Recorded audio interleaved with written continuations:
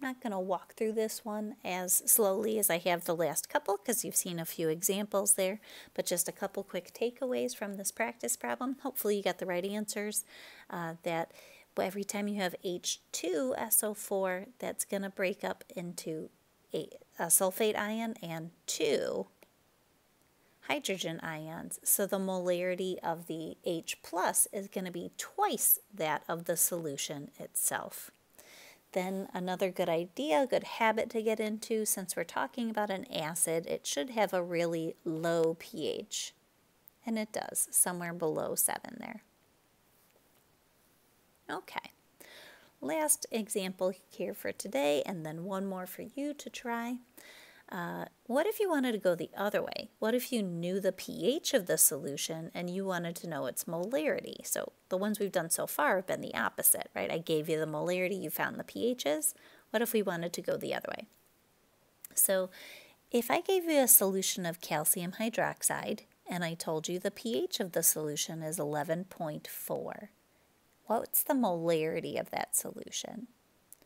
So Calcium hydroxide, the chemical formula for calcium hydroxide is CaOH2.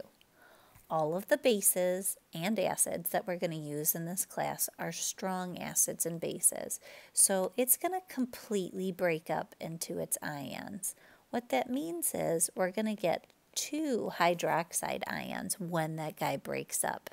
It would look something like this. right? So, how am I going to tackle this problem? First off, I'm talking about a base, it's got hydroxide, but a pH.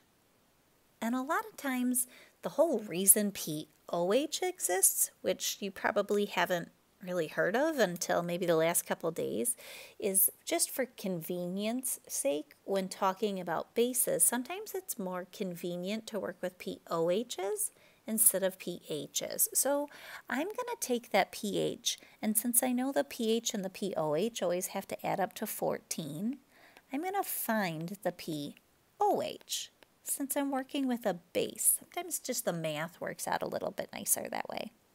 So 2.60 is my POH.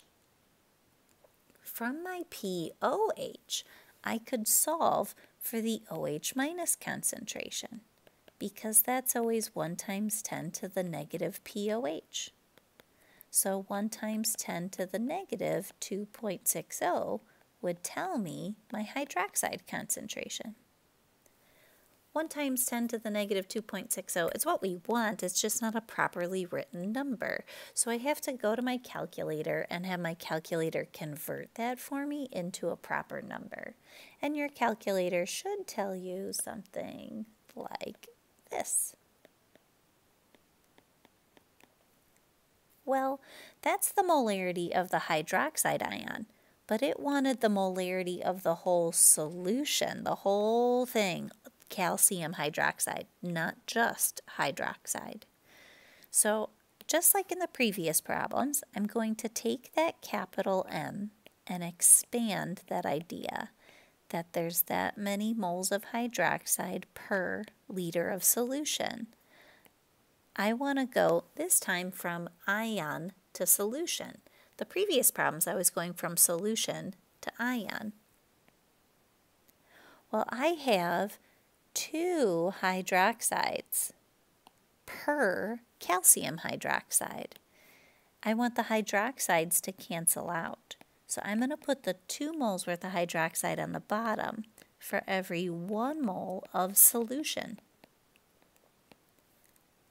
The moles of hydroxide cancel out.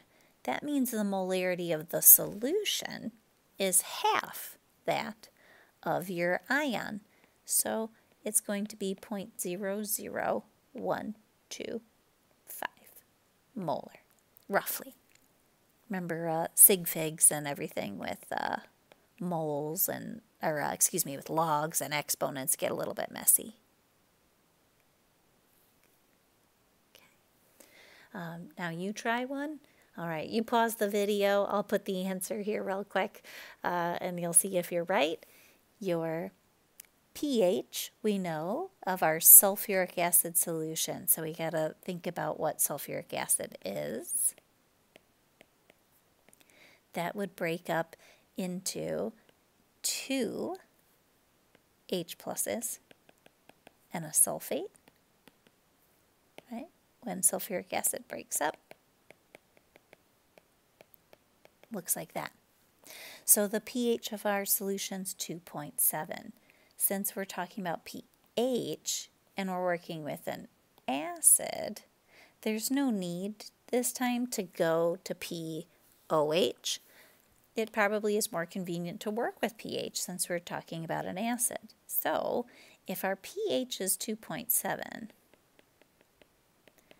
and H plus is 1 times 10 to the negative pH. 1 times 10 to the negative 2.7 is our H plus concentration. It's what we want, it's just not a properly written number. So we throw that in our calculator and you'll get a number something like this for your H plus concentration. And then to get that into a molarity of your whole solution, not just molarity of your ion. I'm going to use the idea that there's 2 moles of H plus per mole of sulfuric acid. And once again, the molarity of your whole solution is going to be half that of the ion. So you'll get something like 9.98 times 10 to the negative fourth molar or your calculator might be displaying that as just a traditional number, so maybe it looks something like that.